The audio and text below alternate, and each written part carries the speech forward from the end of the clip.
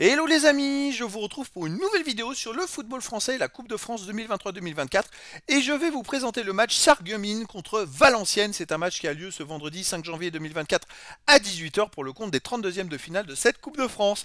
Alors Sarreguemines c'est une équipe de Régional 1 qui reçoit Valenciennes, une équipe de Ligue 2. Il y a donc 4 divisions d'écart entre ces deux équipes en faveur de Valenciennes. Donc dans cette vidéo je vais revenir sur le classement et les statistiques de ces deux équipes dans leurs championnats respectifs. On verra ensuite le classement de tous les buteurs de Valenciennes en Ligue 2. Et on terminera par les 10 derniers résultats de toutes compétitions confondues et les stats, ce qui nous permettra d'avoir une idée, une tendance à ce match.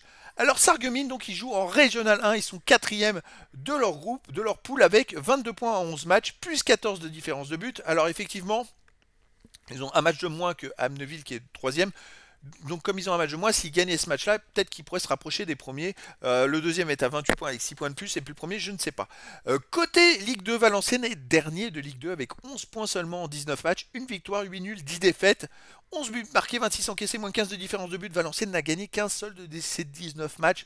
C'est une saison très très très compliquée. Alors, vu qu'ils sont derniers, on va dire qu'ils auraient peut-être plus le niveau national. Sargumine dans les premiers de R1 aura peut-être plus un niveau national 3. Donc ça ferait plus 4 divisions d'écart. Ça pourrait ramener en termes de niveau de jeu avec 2 divisions d'écart.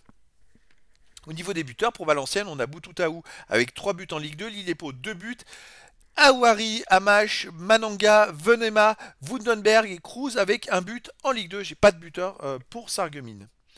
Les 10 derniers résultats, toutes compétitions confondues. pour Valenciennes, c'est les 10 derniers résultats. Et pour Sarreguemines, j'ai que les deux tours de Coupe de France. Sarreguemines a gagné donc au, euh, le 19-11 au 7 tour de Coupe de France 4-2 à Jarville. Et le tour suivant, ils ont gagné contre Bischheim 3 buts à 0. C'est une équipe qui a fait son boulot pour en arriver là.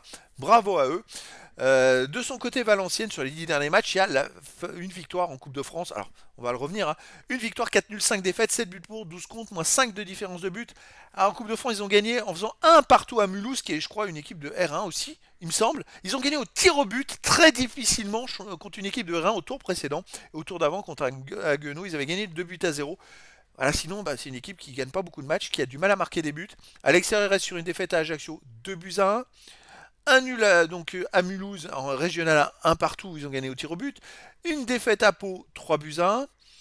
Euh, on prend les matchs à l'extérieur. Un nul 0-0 à Quevilly-Rouen, une victoire à Guenot en Coupe de France 2-0 et une défaite à Angers 2-0. Donc voilà, Valenciennes a beaucoup de mal.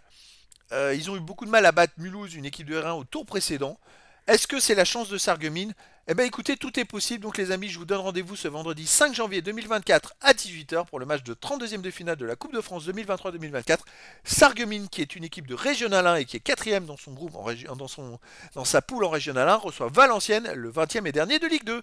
Voilà les amis, je vous dis à très bientôt pour une nouvelle vidéo.